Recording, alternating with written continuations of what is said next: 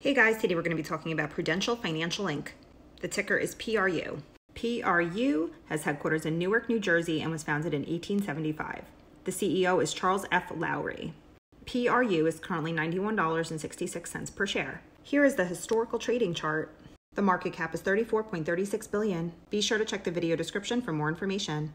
Be sure to subscribe to learn more about stocks.